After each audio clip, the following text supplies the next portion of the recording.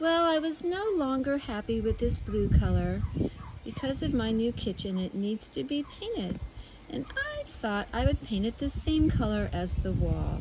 That way it wouldn't look too cluttered. So I ooched and cartwheeled it down two rooms and down a couple steps.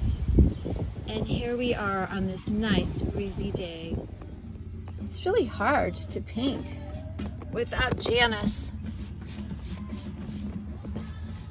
Much better with Janice, yes.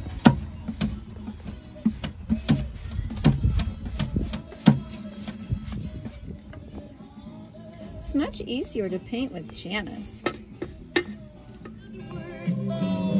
Okay, Janice, that is the first coat.